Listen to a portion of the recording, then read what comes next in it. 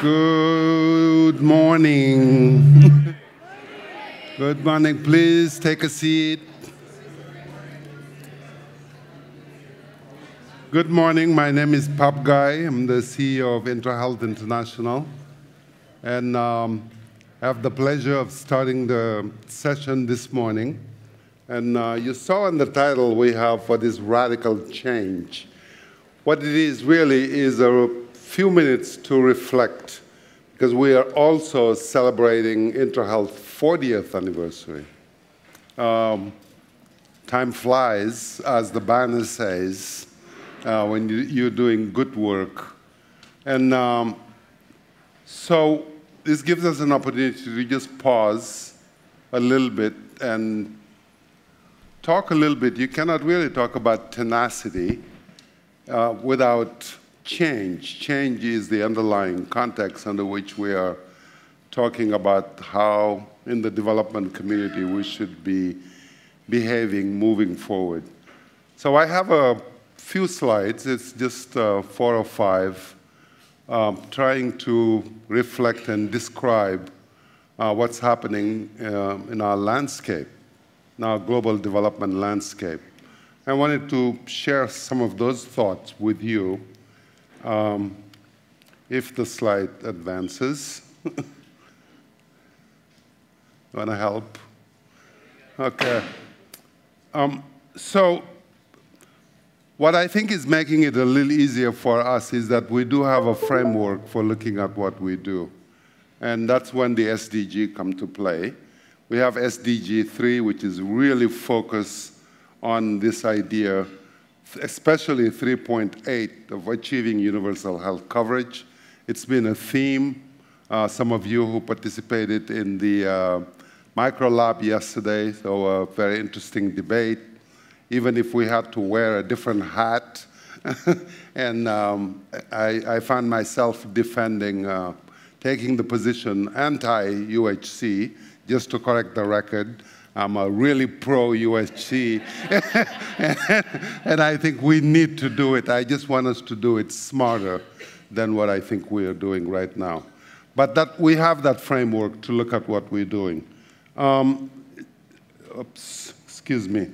But this is the problem. The problem is, although there's been tremendous progress, uh, today at least half of the world is not fully covered for essential uh, health services. And that is just not satisfactory. And the status quo will not do. This is why it's interesting to talk about change.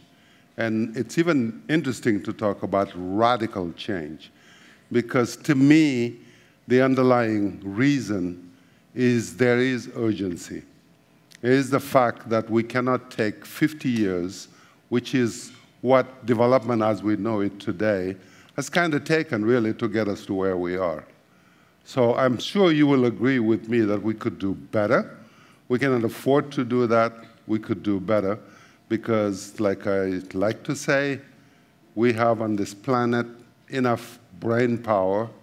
I was sharing with my colleagues, we happen to be sitting in the triangle of North Carolina, known for the highest density of PhD in these countries.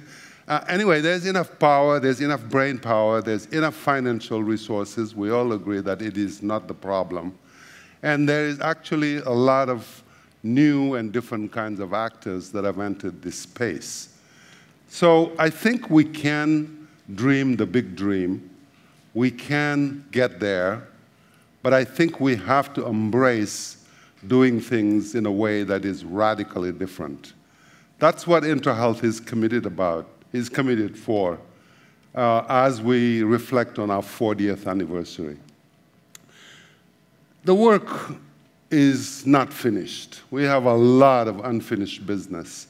I do not want to pick on uh, a specific country, but Nigeria is big enough and important enough for the continent of Africa that it's worthwhile taking time, stopping and, and taking the time to look at and you will agree with me that this picture could be much, much more improved if we do things the right way.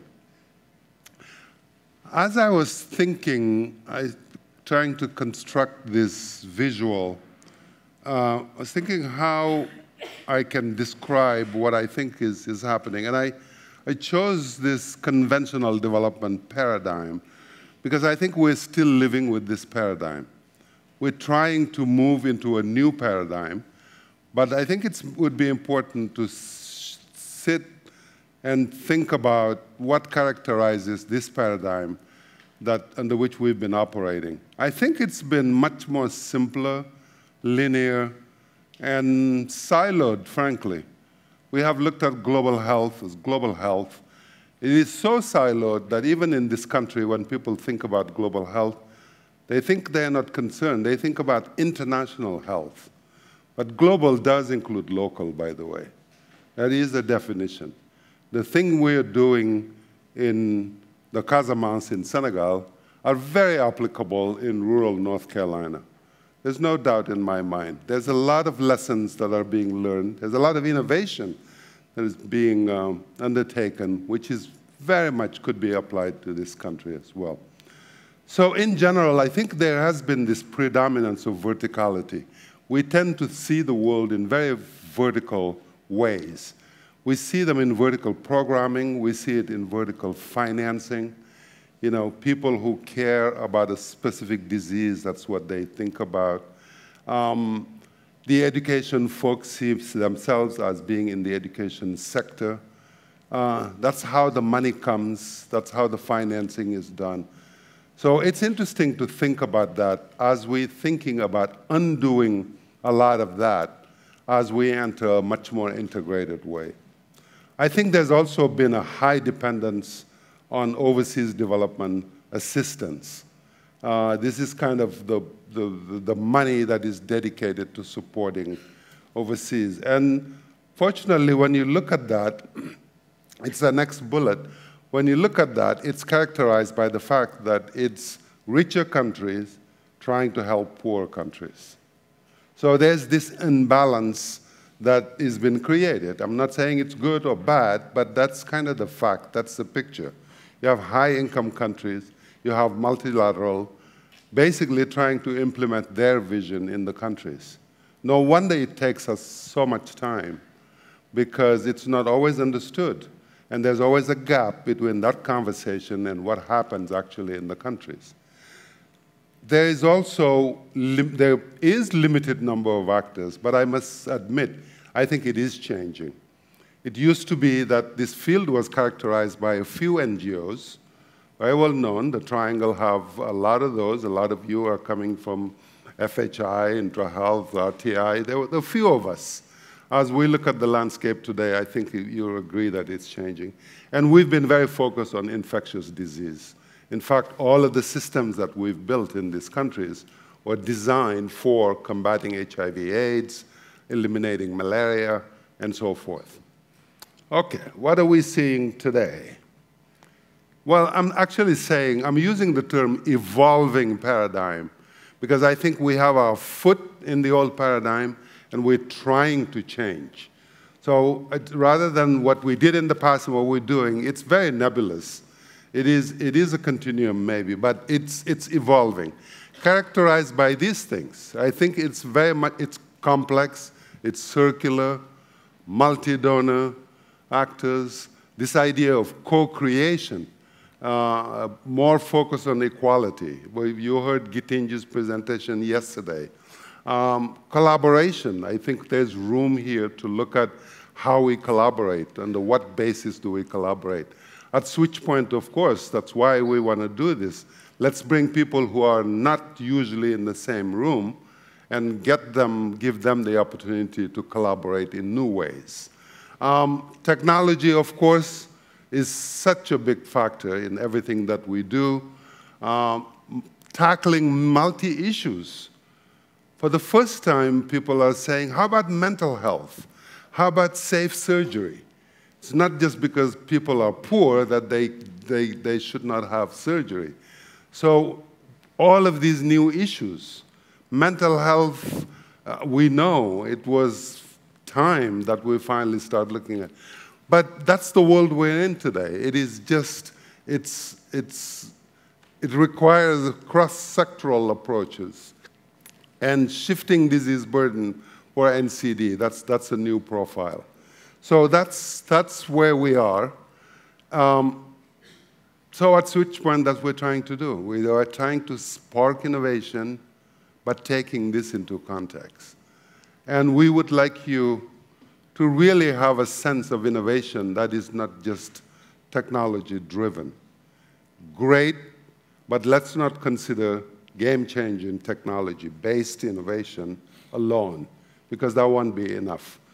It is absolutely necessary that we think about innovation in partnerships, that we think about innovations in systems. So think about it. At, at SwitchPoint, what we're promoting is really a much more comprehensive and complex innovation. So that's, the, that's when I think about change, I don't have much to tell you about why it's important and why we need to be resilient and why we need to be tenacious. It is just, uh, that's what it will take. So I, I wanted to share that, and I wanted to share that in the context of our 40th anniversary and help us be that organization that only remains relevant, but also that think a little bit ahead of the curve. That's been our, our motto. It's been what can we do because we believe that the future belongs to people who do the best job anticipating what that future is going to look like. But let's not get, uh, keep our eyes off the prize. It is about saving lives, and it is about improving lives. And let's do what it will take to reach that goal. Thank you very much.